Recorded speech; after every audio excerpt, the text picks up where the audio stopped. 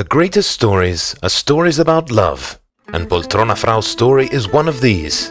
Over 100 years of emotions which have seduced millions of people. The spark was struck in Turin. Renzo Frau, a resourceful upholsterer, realized that a new taste was emerging deep within buildings and homes. That is how Poltrona Frau came to life. Its original armchairs in prized leather immediately captivated the public, charmed by the fitting interplay between modernity, brand and communication.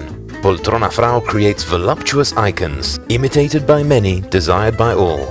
The upper classes and Italian nobility choose them as a mark of prestige. Renzo dies soon after, and it is his wife who carries his dream forth. His vision remains and inspires Savina in the creation of ageless masterpieces, leading Poltrona Frau above and beyond.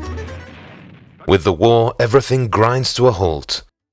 The economic boom brings a running start, and this time unstoppable momentum. The company is purchased and moved to the Marche region, enhancing the values of its origins. It is the period of Franco Moschini's leadership, new collaborations and timeless success. The world pursues change and Poltrona Frau opens itself up to a revolution, embracing a modern design yet imbued with its own history. The renewal culminates with the birth of the Interiors in Motion and Contract divisions.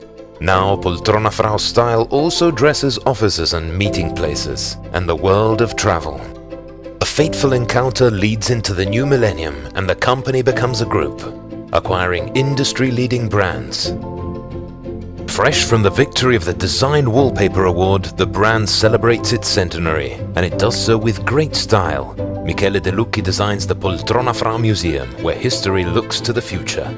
Two years later, the first showroom in China opens, a prelude for milestones in Asia and in the world, such as the Elle Decor International Design Award.